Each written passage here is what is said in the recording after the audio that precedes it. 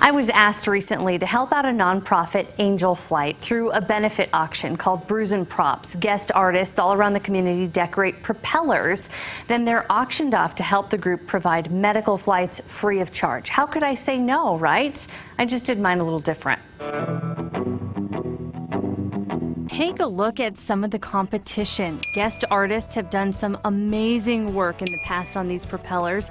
Hand painted, macrame, even 3D. They're incredible. And they sell for hundreds. All the money going to the nonprofit Angel Flight.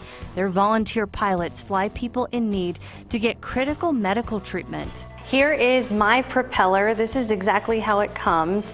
And most people paint these as you saw, but I'm not an artist. So I'm gonna try my own technique, a decoupaging technique we've kind of shown you before, but we're gonna show it a lot more in depth today. My goal is a really weathered looking flag. Here's the star of the show, American flag napkins, under five bucks at Marshalls. The propellers that are patriotic sell for the most money. And I'm not above cheating a little bit and, uh, and going for what the people want. So that's why I chose the patriotic napkins, plus they were on sale from the 4th of July. Unfold the napkin. Most napkins are three ply and it's real tricky to separate them, but you've got to get it to just one ply for a good fusion. Here she goes. That's not separating. Okay, we're going two ply.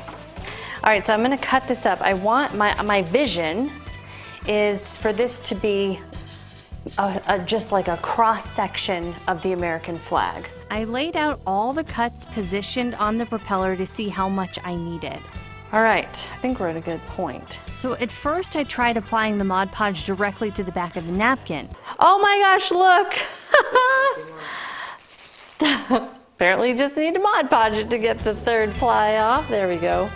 Wow, look at that, it's so thin. And when it's that thin, it would rip if I painted the glue directly on the napkin. So this time I spread the medium on the propeller itself, then laid down the napkin and smoothed it out. Beware, this is a sticky process. then I just tore the edges after it was completely dry. After that, one top coat of Mod Podge to seal it all up, then I scuffed it up a bit with sandpaper to make it more weathered and cleaned up the studs so they weren't covered with paper or glue. Ready to fly. Danielle Tedesco, KOB4.